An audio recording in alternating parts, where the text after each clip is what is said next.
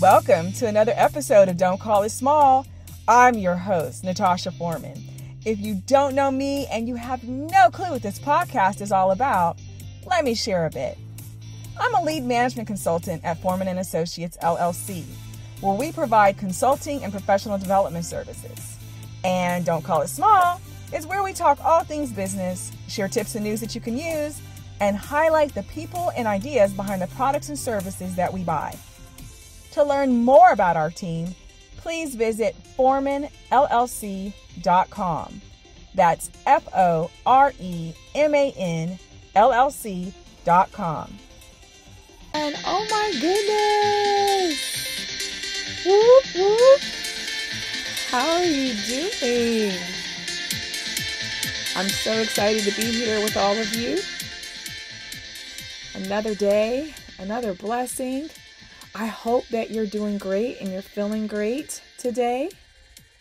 I'm excited about today's episode. Today, we're going to explore time management and how we can work smarter. Oh, yeah. Yes. Um, if you're here with me because you struggle with it, then um, I'm glad to have you with me. Um, oops, I'm up here clicking on stuff I'm not supposed to be clicking on. there we go. See, so what's going wrong. Um, I want to start off today uh, with a quote from Tony Morgan that says, You get to decide where your time goes.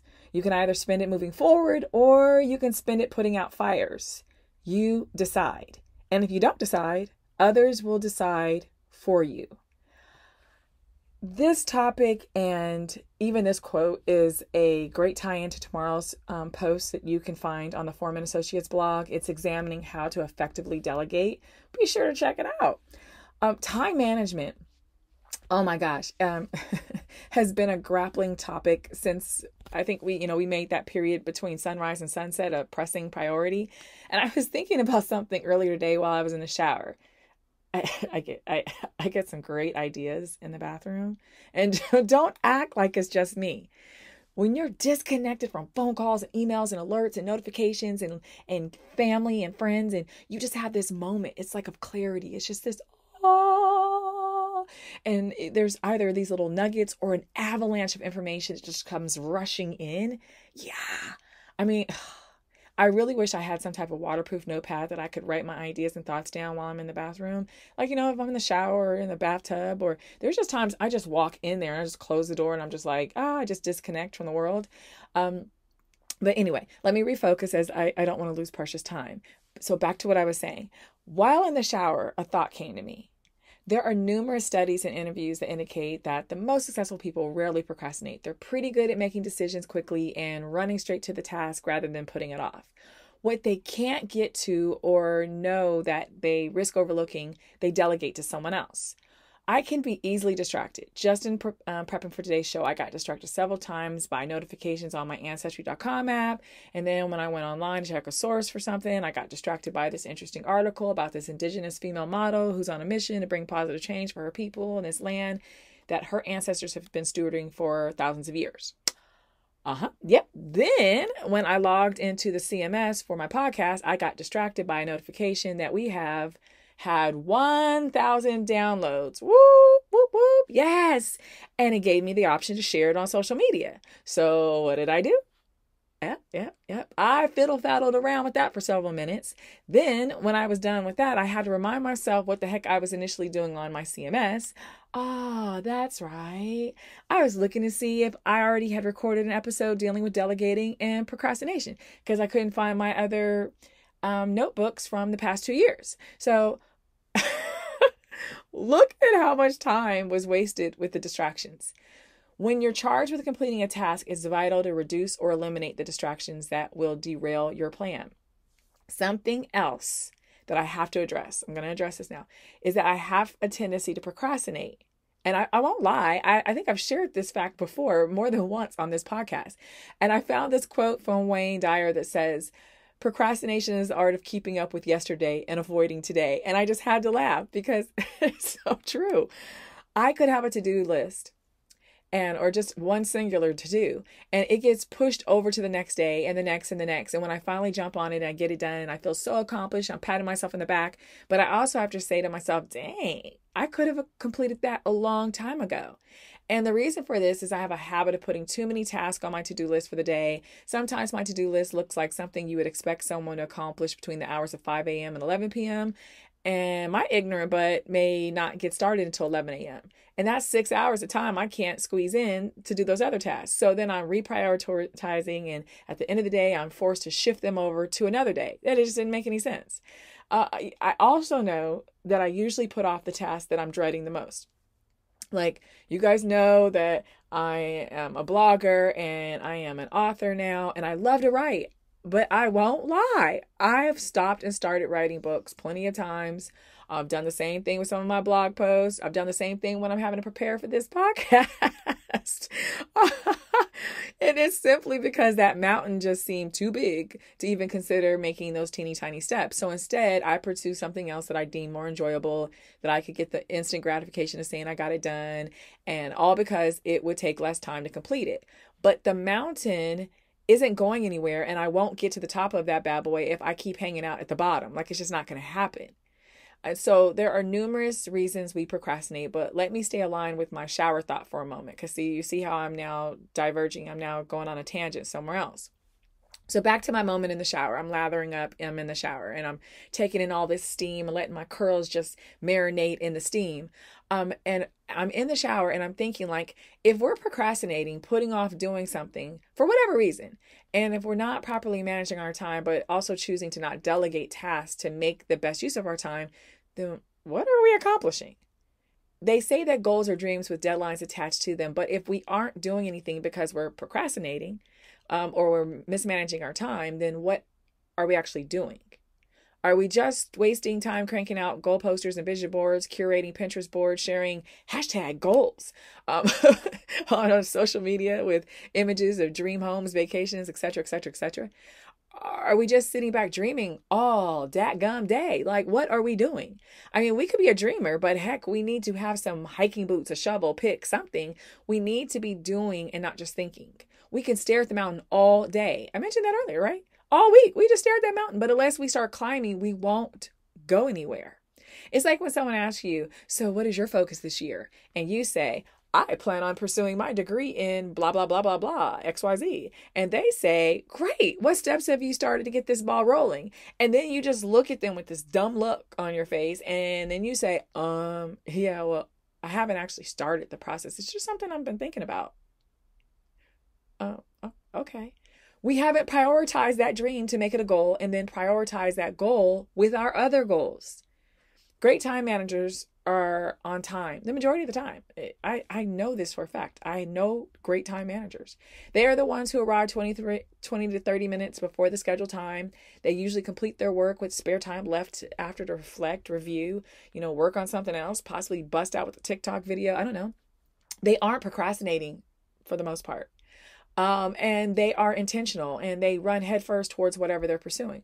This is something that we just kind of see. It's a common theme. My family, I'm just gonna, you know, just be a little transparent, little humor. My family has a tendency of arriving places late. I tell people to lie and just say that we have to be somewhere an hour or two before the actual scheduled time. And then at that point, my family will arrive on time. So if you say be there at 6 p.m., they will stroll in or run in like it's a race um, but it's usually about, probably around 7 p.m 7.30 or later and there's always an excuse for the tardiness right it's, it's never really our fault and the truth is the arrival time simply wasn't a priority or not a higher priority than something else and I've been working diligently on arriving places on time. What I find interesting is that when it's something work related, I'm early and I'm ready to roll. When it's something personal in nature, I'm more relaxed. But what am I saying to the person or persons who are waiting for my arrival? I'm telling them that they aren't important enough, valuable enough to meet them at the agreed upon time. And I know I talked about this in another podcast. It just it's just like resonating with me. I know I did. So, I mean, I'm going to ask you like how many of you find yourself running around and you're feeling overwhelmed because you have too many things on your plate, you overcommitted yourself, you quite possibly make it a habit of overcommitting yourself. And you have to really ask yourself like why do you keep saying yes to things when you already know that you have more than enough to do? Are you being a people pleaser? Are you trying to prove that you could be Superman, Superwoman, Wonder Woman, whatever? Are you trying to live up to other people's perception of you being the go to get her done person? Are you trying to live up to like their expectations? Like, what's going on? Um, you have to really dig into why you're putting more on your plate than you can handle. And so then you have to then say, you know, why don't you then delegate some of the things that are on your to do list so that you can focus on the items um, that need your most attention? I can already hear some of your excuses rolling my way now because I've had some of these excuses. So I can hear some of you saying, Oh no, Natasha, I, I just prefer to do things myself because I can guarantee it'll be done the way I like and I don't have to waste time trying to explain it to someone else. Or you could say, I just get it done faster if I do it myself. Or you're like, oh, no way. I can't trust my work to others. This is my baby. This is my project. This is my everything. This is my business. Oh, no, no, no. Um, or something else I've heard and I know I'm going to hear is I'm not a good delegator. I don't know how to separate my list and decide what to ask someone else to do for me versus what I definitely need to do myself. And I get that. I struggle with that myself. Like, how do I determine what to delegate? So rather than spending too much time speaking about delegating, let me say this. Check out the Foreman Associates blog post tomorrow.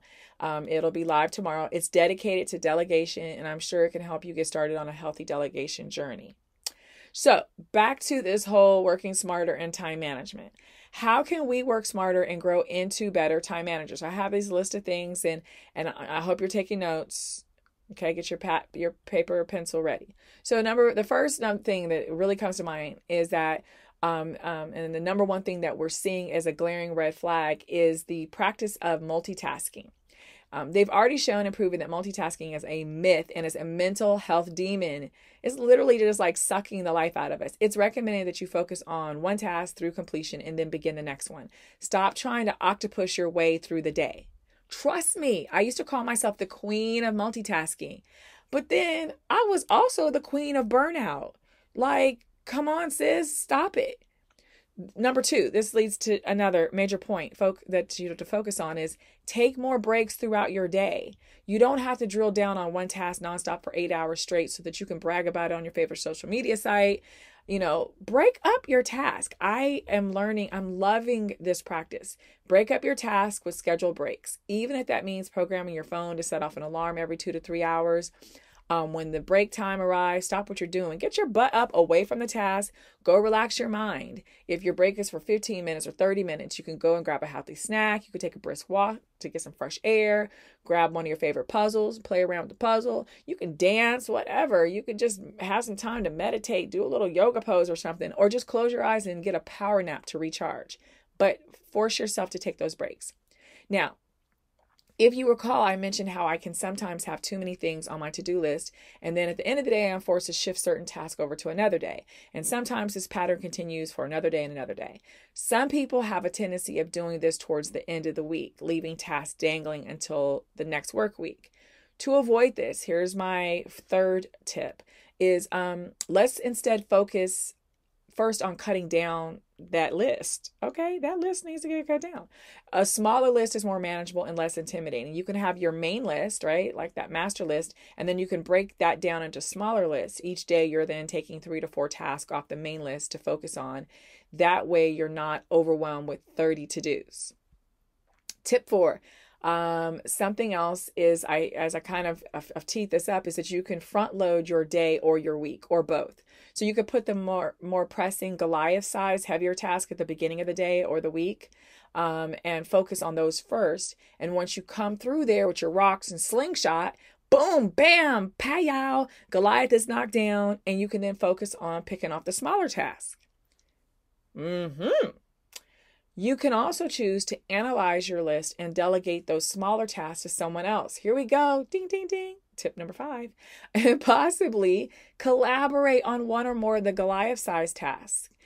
Folks, teamwork really does make the dream work. Look at your stuff and say, gosh, what could I be able to work on with someone else? Maybe someone else's brain I can then, you know, we can ping pong off of each other and and really, you know, knock this out. So this leads me to um, when we're looking at our tasks. We can chunk similar ones together if possible, but we have to make sure we're avoiding the multitasking trap. Some people call themselves chunking, and then all you're doing is multitasking. You're just doing it in a different way.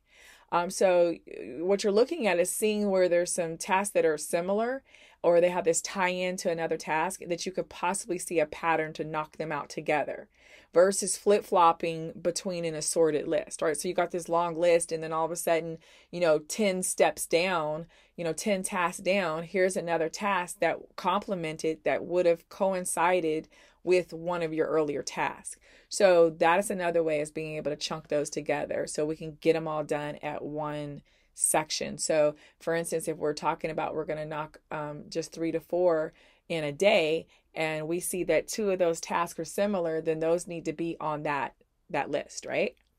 Um, tip seven, it's recommended that you focus on those Goliath tasks when you are at your best, when your energy is the highest. So if you're one of those early rising, super excited morning people um, that, you know, they get it done in the morning and before lunch, if your energy spikes mid afternoon, then make sure that you're not scheduling your Goliath tasks for periods of the day when your energy dips. So early morning folks, focus on getting those tasks done in the early morning because you're not too you're not too cool in the evening if you're one of those mid-afternoon folks focus on trying to get those goliath ones um, before that energy dips a lot of folks have an energy crash after a big meal um, black folks like to call it itis um, this is where you know we gorge out during our lunchtime period or whatever whenever we designate as lunch um, and then we turn into zombies about 45 minutes to an hour after returning to work. When you're in that zone, don't focus on Goliath stuff. Focus on the little things that you can knock out with less energy, if that makes sense. You don't want to blunder the big stuff because then it's gonna you're gonna have to spend so much time and energy to fix what you messed up. If you focus on Goliath stuff when your energy's high, you're good. Now, I will say this if you know you have a lot to do in a given day, waking up at 11 a.m. won't do the trick. If you're planning on sleeping before 2 a.m. the next day, at 11 a.m., start ain't gonna work. So, for the time that's needed, wake up earlier. I'm naturally a night owl, but thanks to my world turning upside down this year, 2021, um, I've been waking up earlier and earlier to get more accomplished. I find myself up at 5:45 in the morning. I'm nestling into my prayer time. Yeah when I normally wouldn't wake up until around 9 a.m., 9:30. Um, so I suggest that you try it in small increments at first, like 15 minutes earlier. So if you normally get up at at um 8 a.m., you know, get up 15 minutes earlier for the you know the first day, then 30 minutes earlier the next day, and so on and so forth, until you feel energized and accepting of the idea of waking up earlier than normal. If you're dragging it around groggy, you will get less accomplished than if you just woke up at your normal time. So it doesn't make sense. It doesn't make sense if you normally wake up at 11 and now here you're trying to wake up at 7 and you're up here like dragging through the day until 11:30. That didn't make sense. So you should have just kept getting up at 11. Make sure that you pursue this method with a blend of art and science until you find your sweet spot and make it work for you. Now, earlier I mentioned how I get distracted easily. And many of you, some of you probably already gotten distracted five times now um, in the last five minutes, but many of you would probably admit that you struggle with the same issue. Um, and so, my ninth tip is one way to limit distractions is turn off notifications when you're focused on a task. Use apps on your phone and computer to limit screen time or limit which apps and sites you can visit during different times of the day. I absolutely love this. I have this set different times of the day for my laptop and my phone where it literally just blocks me from accessing things. I have to then intentionally override that, which means I am now making a choice to go up against that. Um, and that is not a, that doesn't settle well with me unless it's a highly pressing reason. I'm like, okay, well, I guess I have to wait until my period where I can actually access that. Some other things and um, tools that folks use are, you know, productivity trackers, um, you know, where they track their activities and how long they spent working on a task through completion. Some people, myself included, like to write out our to do list using pen and paper. I prefer pencil and paper so I can erase when needed. Um, it just helps me visually look at and check off completed tasks. It also reduces my interaction with my devices. I am a techie, so I'm naturally drawn to these these devices. Um, and then I, something that I've been dabbling with, and I want to see if any of you have, or if any of you are really um, mastering this. But have you looked into automating your task? Look at the tasks that require repetition, and you may be able to use an app or software like, um, you know, it's like Zapier, where you can zap almost anything. As their site says, automate whatever slows you down with zaps. I mean, I don't know if that's how they would actually say it, but that's just what came to mind. so, so search online and see what can work best for you. Ooh, ooh, ooh.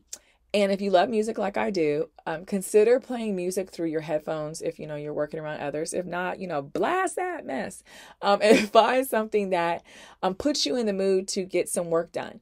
Don't, don't, don't play music that relaxes you into zombie mode. You don't want anything that's going to leave you drooling and snoring shortly after you press play. That's just counterproductive.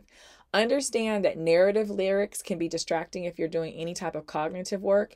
Um, if you're doing a repetitive task, then look for music to have an upbeat tempo. You just don't want anything that's going to distract you. And trust me, I've been on that party train more than once. I found myself busting out, dancing all over the place, um, one song after the other. Like I was out at a nightclub. It took me a moment to remember that I was supposed to be working on something and that that something was not twerking or pop locking. Like, get it together, Natasha. Focus, girl, focus. Um, lastly, as I mentioned, that goals are dreams with deadlines. You need to make sure that your tasks have start dates attached to them. If not, they'll just sit there until you quick you're quickly approaching that due date or worse, hours before deadline. If you do the master list, like I've mentioned earlier, and then segment that list in a smaller list, you can create the start date and due date, allowing yourself a preview period leading into the upcoming task.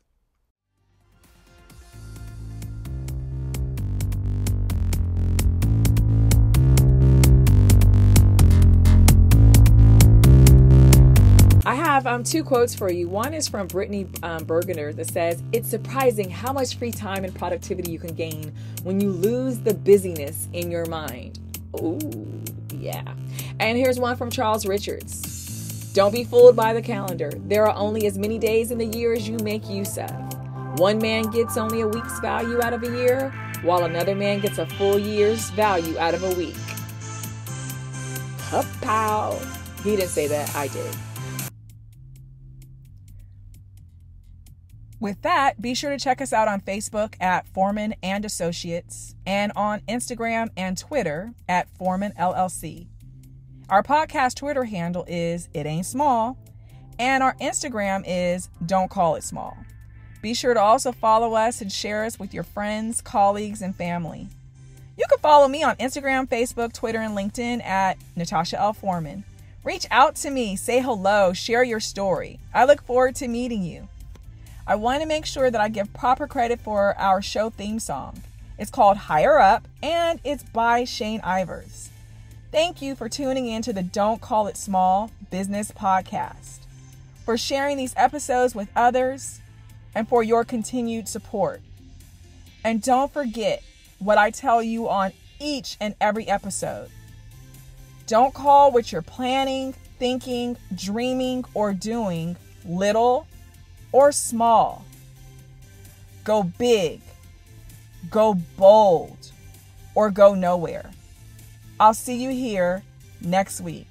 Make today a super awesome day. Take care.